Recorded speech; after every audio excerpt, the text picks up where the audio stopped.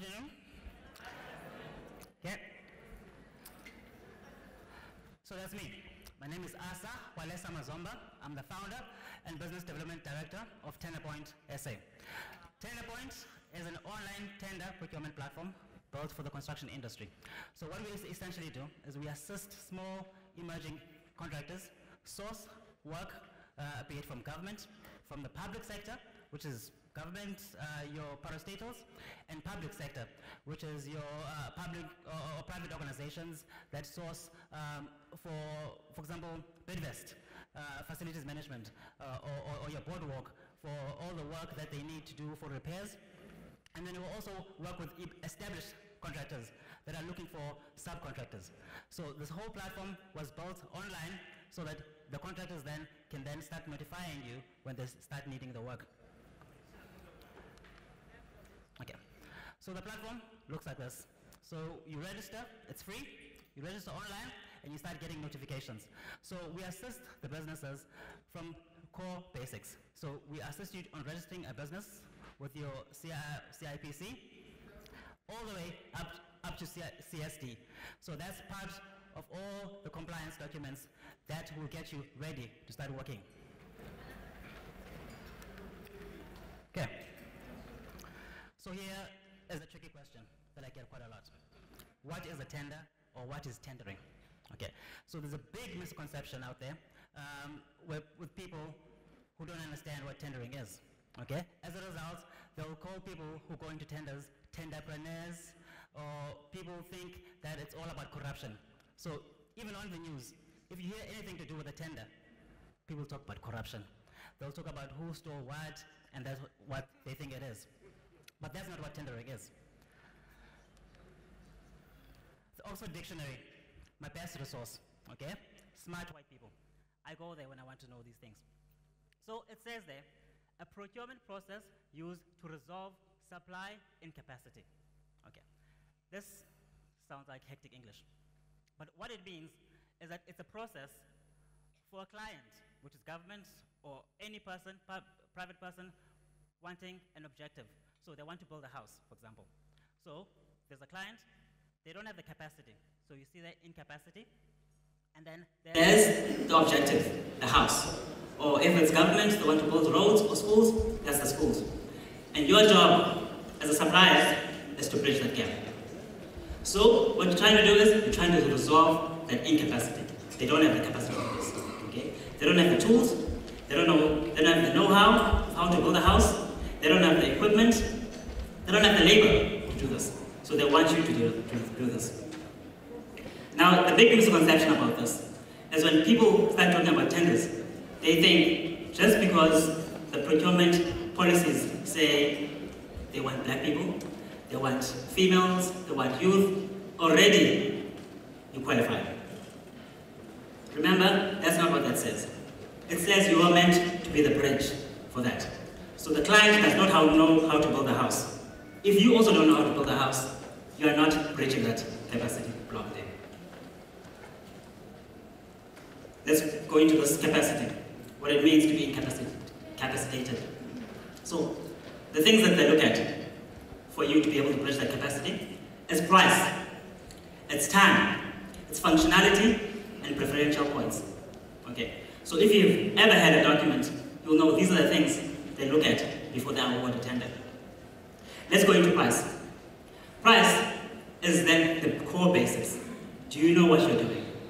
Do you know what it costs to do what you're doing? Do you know the profit margins? Do you know how to give the client the best quality for price?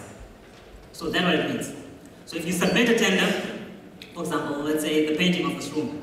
Painting of this room might cost 50,000. You then submit it at 10,000. Already the client knows you don't know what you're doing. And then there's also a minimal bridge gap. So if you price it at 15,000, the client might think, okay, maybe you have surplus material left over. So they might give it to you. So that's why you get people giving tenders even though it's quite low, and then they battle on site. So the, the system there doesn't tell if you know what you're doing or not, but it can tell if you can go too low, beyond the barrier. So price is very important. Time. On most contracts, what they'll do is once, once they appoint you, they'll ask for a program. So they want to see, do you know how quick this could be done? So this is very important. On big contracts, like malls, they have a cut-off time. So most malls, they want to open before Christmas. So what they'll then do is they'll give you penalties. Some penalties can be as high as 10,000 a day. So if you don't finish in the time that is stipulated, they'll start giving you 10,000 a day. So they start penalizing you. So time is very important. So you understand how to bridge that with time. Be it getting professional people in your team, professional equipment, so that you can start lessening the time. Functionality. Now, functionality is very important. Functionality is asking things like experience. Do you have a team that knows what they're doing? Do you have a foreman inside? Do you have bricklayers who know what they're doing? That functionality then is scored just by that. So if you don't have that functionality, then the first thing you can do is then start getting people who know what they're doing. So when you start supplying a tender sometimes, they'll ask you to put in a CV of someone. Okay? So that is important. Functionality is very important. And then there's the preferential points. So these are, are then the, the, the, policies given by our government to say, we understand that most people didn't get opportunities back in the day. So we'd like to get them into this procurement pool. So they'll look at things like youth, they'll look at things like females, they'll look at things like locality, locality. So you based in this area? So these are then the points that most people look at. So when people think tenders, they start there. They go, I'm female, I should get this tender. I'm a youth, I should get this tender. This is my area, I should get this tender. And then don't look at all of the other items. And then the trick here is that, for example, I've been on contracts where someone in the area or a forum established near where the, pro the project is going to be, and then they say, we want a part of this contract. Fine, the contract is, uh, the, forum is established, and then the client then comes in and says, fine, give me contractors in grade 1, CE, give me contractors in grade 1, GB, no one has GB, no one has CE, no one has nothing. People still need to register businesses, which might take time, contact CIDB, which might take a week or, or 21 days to get the registrations, so people have nothing, because that's where they start. They start thinking, just because I'm black, I qualify, but it doesn't work that way. So, a part of capacity, for example, I remember I had a client recently contact me. She, uh, she's into cleaning. So she, she contacted me as a, a, tender for a small bridge, okay, one of those culvert bridges. She says, Asa, I've never built a bridge before. What do I do? The first thing I asked her, capacity. Have you built a bridge before? She says, no. Do you know people who can build a bridge for you? She says, no. And then I say, fine. What happens if the bridge collapses? She doesn't know what to do. I ask her, how much are culverts? She doesn't know. I ask her, if you get a foreman, now your more expensive foremen would come at 60,000 a month. So like people that have left WBHO and, and retirement, so they'll come in and assist you. So I can find you that person. Will you be able to pay them from the contract? Says, okay, you know what? Let's price this contract and see. So we'll build this person in and into the contract. Now the problem is, she's got the price right? She's got the functionality right. So she's got someone who's been building bridges for 20 years, worked for WBHO. Time. Now we can start working on a program for her. So we say, you know what? This contract is going to take three months. It says so in the bill. But you can work on two months if you do A, B, and C. Okay? So we'll get you uh, TLBs. We'll hire TLBs from Atlas. We'll get you the, the, the, the, criteria that they need, for example, your, your funding. So we'll get you funding. We'll go to ABSA. Uh, we'll go to places like um, your, the, the, the lady that was speaking here. We'll go on your behalf. Okay? We'll try and find what, what resources there are for funding. Find, she, she understands now that part of the contract, say 7%, is going to go out of the contract to pay your, your, your funding. So with fixed time, price, functionality, and then the preferential points, she qualifies. Okay. So this is the type of solution that we can provide because we understand what is important on a contract. So you don't then think, just because you're in that area, you then deserve to be part of the contract.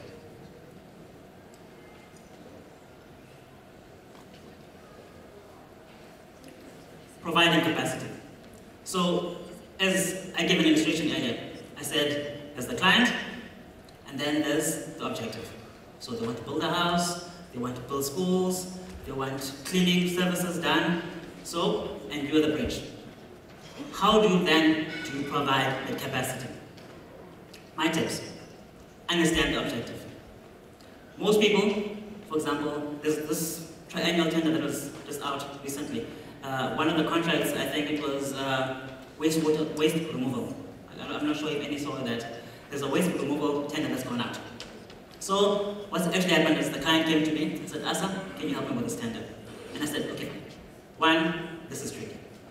This is a sector that's been used by your services, your, your, your I don't like saying this, but your white-owned businesses, okay? They shut out most people. Uh, if black people were in that sector, they would have been those truck drivers. So they don't know anything about the sector. So I say to her, you know what? What we need to do is we need to find a truck that we can hire. Okay? So she understood that this is a sector she doesn't understand. She, she doesn't know the basics. So what we then do is we find the truck for her. But then now the tricky thing is she needs to manage this truck. So she'll hire the truck for a year. The contract is, I think the contract is 12 months. So she'll hire for, for 12 months, start picking up the litter from different places. All over, um, I think it was Motherwell, but I think it was about 52 uh, areas. So then they have to collect from, from all these wards. So then now start, start, start, started understanding what the objective was. So she knows that she needs to deliver this and how. So she understands she needs a truck for this. My other tip is focus on the sector. Now the other big thing where people start getting labels like tenderpreneurs is people are all over the place. If there's a supply tender, you're there. If it's construction, you're there. If it's cleaning, you're there. And then what happens is, you start being a jack of all trades and master of no capacity. Because what then happens is, they look at objectives. Uh, for example, your, your criteria, your functionality. When they start asking you this question, your company's been registered in 2006, but have you done cleaning before? No. And then ask, what have you been doing all this time? Because you've been all over the place. So start focusing on one sector, understanding what the sector requires, understanding the suppliers in the sector. So when you start needing uh, to negotiate on prices, then you know who the suppliers are for such items. Hire professionals. This is very important. Hiring professionals are, is, is, is, is, paramount for your success in, in your business. It's just as basic as you wanting to understand your finances in your business. If you, you don't know accounting, there's no way that you can do your finances and then getting that tax clearance certificate at the end of the day. So you go to a bookkeeper, you go to an accountant and say, please help, help me with this item. Helping, hiring professionals also boosts your business profile. If you've seen on your CSD, there's a section there uh, on associations. So if your business is registered, for example, for NHBRC, you can put that association there. If you're registered in NHBRC, so you get, there's a, a lot of things that you can start listing there. So your business has all these registrations. So what they then do is when they start looking at your profile, they understand what your business can do and has the capacity to do. And these are the most important things that, that you can start doing for your business. So getting professional organizations to assist your business, so your accountants, for your procurement professionals, quantity surveyors, project managers, all these are important for your business to grow. Now, I'm also have another, another example here, where we assisted uh, a grade one contractor who wanted to work with an established grade nine contractor. Okay, so they saw this tender document, it was for a grade nine contractor, and they said, Asa, can you assist me? Facilitated a joint venture with a company that can assist me grow. So those are part of the services that we then offer. So we find a tender, and then what we'll then do is we'll find contractors who have a higher grading than you, so that they can start subcontracting you, then you can start growing. So what that essentially that does is that we can start building rates for you. One of the most important items also uh, when it comes to, to, to, to tendering is understanding how to price. So building up rates, understanding what an, a core item works like. For example, just a brief example, painting. So the current painting rate now is sitting at about 70 rand, 69 rand, also, okay? But for established contractors, uh, your, your, your, painting firms, they can price their, their painting at about 50 rand because they get the paint at, in bulk and their paints are also um, at, at, at, at uh, how do I put this? They, they, they, get better, can put it, better discounts from these suppliers or manufacturers of paint. So when you compete with them, already your, your price is already out. So what we then, then do for them is then we build up relationships with the manufacturers. So you don't have to have a thousand liter paint outside your yard. What, what we then can do is we can contact a nearby contractor and say, look, we have a contractor who's needing so much paint. How much can you sell it for? And then we can start having a competitive price for you.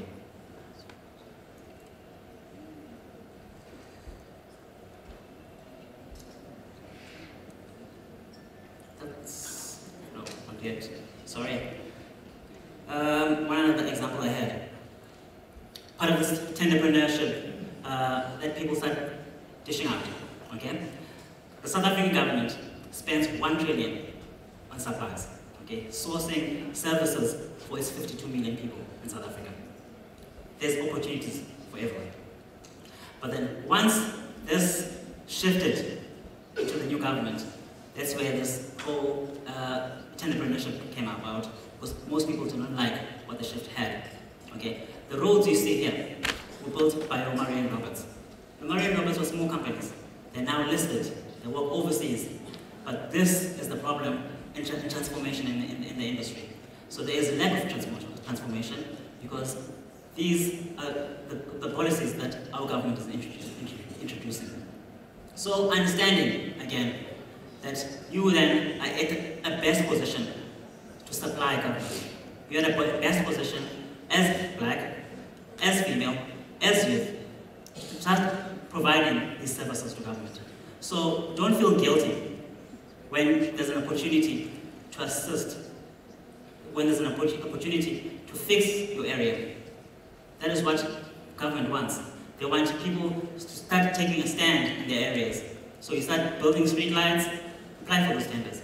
If you see a tender for building schools near your area, apply for those tenders. Because most people think, just because of this term tenderpreneurship, that it, it discounts them. Do not be discounted by that. There are so many opportunities, one trillion, each and every one of us have an opportunity in that pie. Uh, so my presentation was quite fast and, and, and, and quite uh, short and sweet because I like Q&As. I like having people ask questions so that I can assist them. So if there are any questions, I think I would like to spend the rest of my time on the Q&A. Thank you.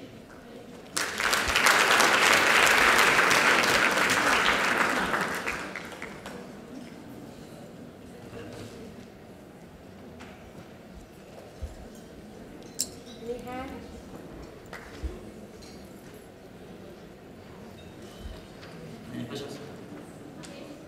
Um, ladies and gentlemen, sure, you really are full, hey? Going once? Okay. Where we were based. I can tell them where you're based. Uh, Central. There's Duncan, where um, the flag is in Central, where SARS is. You see those units going up Duncan Street? Those, those used uh, old flats back in the days, and now they'll turn them into offices. That's where we are based, at number 37. So you can come see us. Um, we are available from 8 until 5. Um, we do facilitation on tenders, pricing, registration of businesses into the construction, uh, getting compliant, CSD registrations, all of that.